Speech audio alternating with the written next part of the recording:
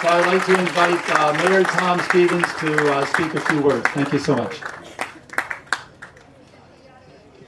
Thank you very much and good afternoon. And I, have always aspired to be the next best thing. So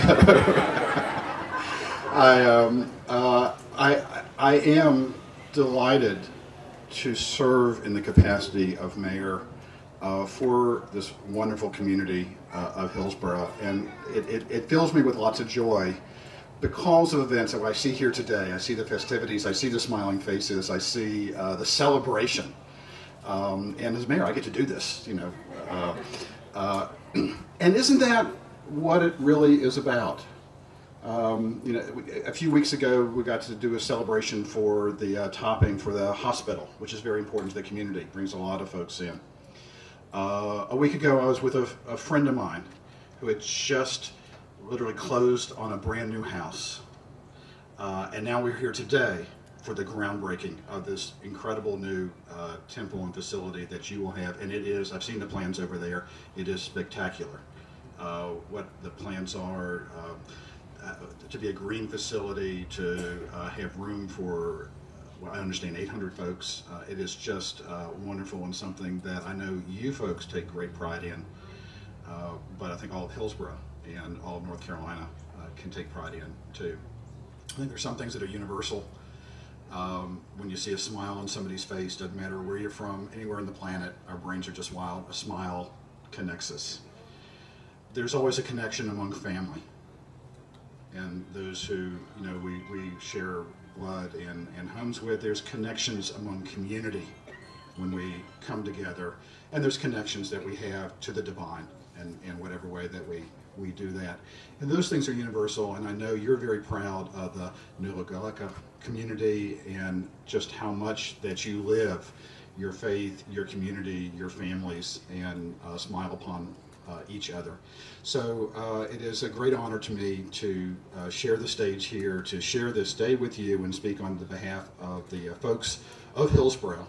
For those of you who are visiting here from uh, places outside of Hillsborough, welcome welcome, welcome, and you are always welcome. And for those of you who live here and make this part of your home, yes, congratulations. Give yourselves a round. You are Now,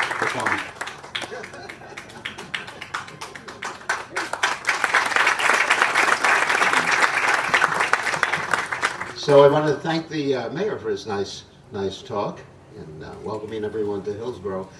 I actually wanted to describe why I'm here in Hillsborough, why the temple is here in Hillsborough, because people ask that question. Uh, some people the other day said, why don't you locate the temple in Cary? Anyone's heard, here heard of Cary before? But the problem with Cary, it's the containment area for relocated Yankees. You've heard about that before? And I don't know how much we want Yankees here. Of course, of course, originally, I was a Yankee. Not a member of the baseball team, of course. But originally, I came from a place called, let's see if I get the pronunciation right, Long Island. Is that right? Long Island. Long Island or Long Island? Okay. And I've tried my best to uh, get rid of the New York accent so the people will accept me here. So, uh, the reason we picked Hillsborough was quite interesting. I was looking at North Carolina and thinking we need a Krishna conscious center here. Or first, let me describe what Krishna consciousness is for those of you who are not familiar. Krishna consciousness is a science, as Jagat Purush Prabhu was saying, a science of the soul. And it deals not with sectarian religion, although there may be apparently some cultural aspects attached to it, like you see the dress, the dhoti, and the markings on the forehead. But it goes far beyond that. It goes to eternal principles. Uh, the word for eternal principles in Sanskrit is uh, dharma. Dharma means those principles that you can't separate from an object. I'll give you an example. Like the dharma of fire is heat. You just can't separate heat from a fire. So the dharma of all of us, whether you're a Hare Krishna, or whether you're a Hindu, or whether you're a Muslim, or whether you're Christian or Jewish or any of these other things. The Dharma is that we're all servants of God. And God has various names in different religions. And uh, we shouldn't divide ourselves according to those names. We shouldn't think that because someone has a different name for God, therefore they're a demon or a kafir or an infidel or whatever you may call them. But we're all brothers and sisters under God. God is the Supreme Father. And no matter what name it is or what name you have for him, we're all part of the same family. And that's Krishna consciousness, describing basically where you uh, go at the time of death, where you come from, who God is. It's the postgraduate study of religion and doesn't negate any other religious scriptures or principles or descriptions. That's Krishna consciousness. And that's why I'm so enthusiastic to bring it to North Carolina. Because it will bring people together. I see the world today, there are so many people fighting because of religion, because of race, because of nationality. We have all this bodily identification. Isn't it? I am white, black, American, uh, Cuban, Russian, uh, Mexican, whatever. And all that divides us. So we want to bring ourselves together so we can work in harmony as one people under God. Just like that's the motto in America. One nation under God, with liberty and justice for all, isn't it? And I think it still says on the American dollar, isn't it? Mentions God still? Or did they take it off yet? It's still there. Wow, fantastic. But who knows what they want to do in the future? You know, take God off of the dollar, take God off of the national anthem, and all that other stuff. But anyway, so that's Krishna consciousness, and that's why I was enthusiastic to come here to North Carolina. Previously, I was in Miami, Florida. You know, the vacation spot for relocated Yankees. it's true. And then then I decided to come here because this is the one one place in America that was lacking. And there's this area, whole area here between Winston-Salem, Greensboro, of course there's Hillsborough in the middle, Durham, uh, Chapel Hill, and then on the other side you have Raleigh. And sometimes we call this area Krishna's eyebrow. Krishna's eyebrow. Interesting. That's interesting. She took the cue very nicely. Thank you. So I wanted an, to set up a center here that was in the middle of Krishna's eyebrow.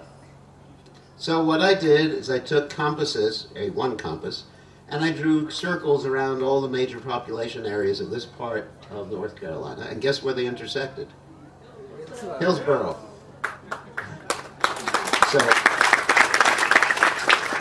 in Hillsborough, we're within 45 minutes, maximum an hour, to about, I'd say, six to seven million people. So that's why we set up the center here. You know, people ask me all the time. I know our people in Charlotte, sometimes they ask me, why don't you set it up in Charlotte? But we're bigger than Charlotte. Hillsborough is bigger than Charlotte. And to travel from one side of the city to Charlotte to another, how long does it take? Does anyone know? During rush hour. One hour, one to two hours. So we're closer than all the people are in Charlotte, right? So that's why Hillsborough is so great. And the temperature is great, the people are great. I mean, it's a fantastic place. So that's why, that's why I came here to North Carolina. And when we first came here, as Jagaparush alluded to, uh, we didn't have much resources. Uh, basically, we had one or two old cars and and the intelligence to buy a piece of land. We bought 16 acres, which is the present temple property across the street, and we didn't have any money to buy it. But because I was a real estate agent before and I knew how to buy property without money, don't, don't ask me how. It's a secret we bought the property. And then, of course, within a year I had to get the money to pay for the property. But Hillsborough is such a friendly place that I walked into the bank. It was Central Central Carolina Bank, and saw my friend uh, Mr. Riley. I don't remember Mr. Riley from. He's one of the old people. He's since passed away. His son is doing some banking now. I saw him and I said, "Well, can you loan us the money?"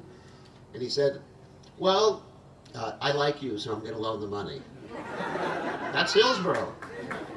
Nowadays, of course, many of the banks have been taken over by multinational corporations, so you really have to jump through hoops. But in those days, you know, it was on a handshake, people knew you, and it was a very nice relationship we had. And because of that, we were able to uh, pay off the property there and get two or three other properties and eventually get a loan for the property here and buy this property here. And all these properties are paid for. We're not under any debt in the properties that we have.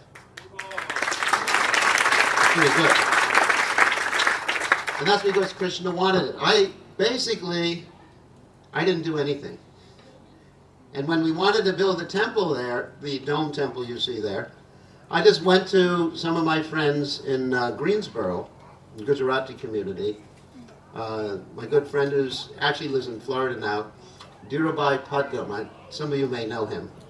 And I said, well, we'd like to build a temple. And he said, okay, here's the money, build a temple. Pretty good. So Krishna wanted it. I've never made much endeavor for collecting money or for getting things together. It's just, I'm going with what Krishna wants. Because we know if one makes over endeavor in doing things in this world, you sort of lose your balance, lose your composure, and you lose your spiritual life. You know, if we become too much engrossed in money, money, money, then we forget God, God, God. So it's better to remember God, and if God, God has all the money anyway, right? He's the richest. That's the quality. One of the qualities of God is He's the wealthiest person, and if He wants something, He'll pay for it. So that's my attitude. That's my attitude with this temple here. That if God, Krishna, Krishna is a name for God. God has many names uh, Yahweh, Jehovah, Yahweh, same person. If he wants this temple, he's going to pay for it. Of course, through all of you and through many of our members, we'll see what he wants. I'm not going to lose any sleep over it, and we're not going to push anyone to help with it, but we'll have to see. And uh, it appears to me that this temple has its own momentum because I haven't been pushing it that much, and I'm happy to travel and preach which most of my life is traveling. Like uh, on Wednesday, I'm going to New Orleans. After that, I'm going to Europe. After that, coming back here for Janmashtami. After that, I'm going to the South Pacific again uh, to supervise some of our centers. So it's up to Krishna. And so we should all pray to Krishna that this temple will grow, go very, very quickly, or as quickly as he likes. And then we can worship the deities here and also introduce people to Krishna consciousness and serve as a member of this community in other ways too. I was explaining to the mayor, we want to have as part of the facility a hall, a multi-purpose hall that will be utilized by other members of the community for dramas, musical performances that will draw in the whole community. There's a, a professional auditorium with all the electronic doodads. You can ask Diavir. I think Diavir is going to speak to us a few seconds after this. But Diavir knows all the details about all the electronic, computerized stuff. And what's that? I'll finish in a second, don't worry. oh, I see Prakash Bhai there. And Thakur Bhai. Sundar Gopal. Wow, some of our friends from Charlotte. So, uh, we want to serve the whole community. It's not preaching sectarian religionism. We want to bring the community together, serve the community, arts, yoga, all sorts of interesting things, and have people understand that religion is not a sectarian affair. It doesn't matter how you dress. It doesn't matter how you call God. Hmm. It simply means to devote yourself to the pleasure of God and to devote yourself to helping others, seeing everybody else as your brothers and sisters. So thank you very much, and thank you, Mayor, for your attention. Hare Krishna.